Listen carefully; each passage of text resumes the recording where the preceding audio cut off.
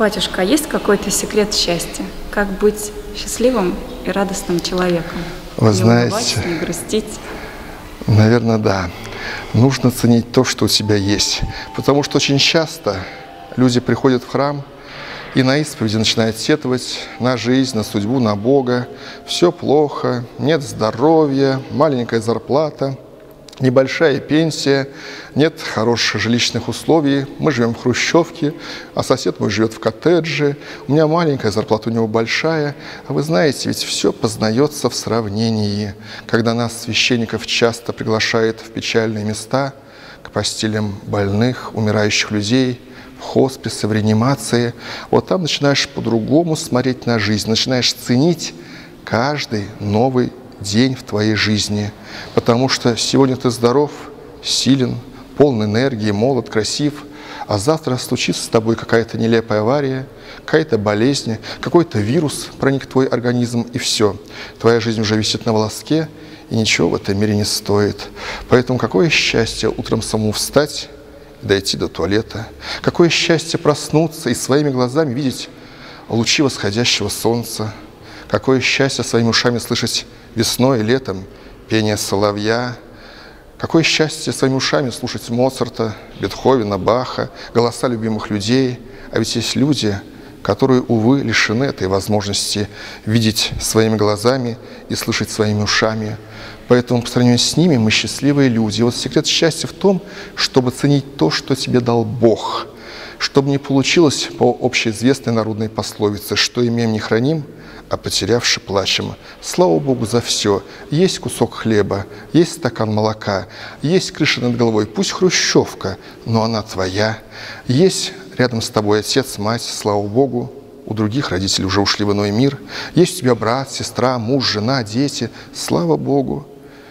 Это твое маленькое счастье. Ведь если так сказать честно, для счастья человека не так уж и много надо – быть здоровым самим, чтобы были здоровы твои близкие, а все остальное можно тихонечко заработать. Деньги заработал, растратил, снова заработал. А вот жизнь, здоровье, если потеряешь, что не купишь даже за самые очень большие деньги. Нет такого магазина, где можно купить вторую жизнь и второе здоровье. Поэтому нужно ценить каждый день как бесценный Божий дар. И тогда, если ты будешь ценить это, ты будешь счастлив, потому что счастье начинается в сердце человека, как и Царствие Божие. Как говорил Христос, Царствие Божие внутри вас есть.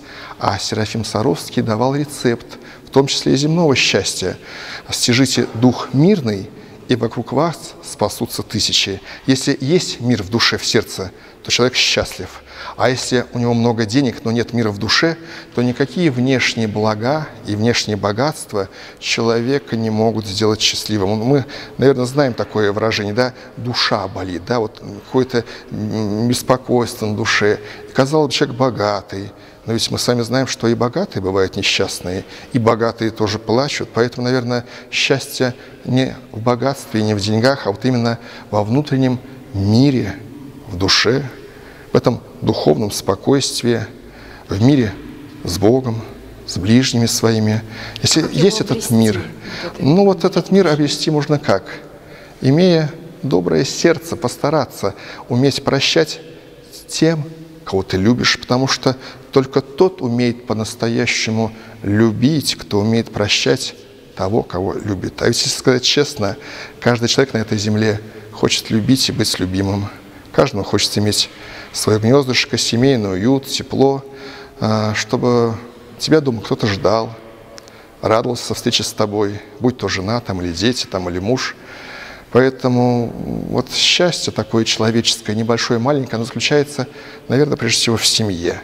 Когда там есть взаимопонимание, уважение членов семьи между собой, ну и, конечно же, любовь, потому что любовь – это фундамент человеческого счастья – как и христианского вероучения, потому что все основано на любви, ибо Христос пришедший на эту землю, сказал, «Заповедь новую даю вам, да любите друг друга». А все остальные заповеди – только прилагательные к основной заповеди, заповеди любви. Если ты любишь Бога, то ты побоишься грешить против Него, обижать Бога своими грехами. Если ты любишь своего мужа там, или свою жену, или своих детей, то ты будешь стараться сделать для них только самое хорошее, только приятное.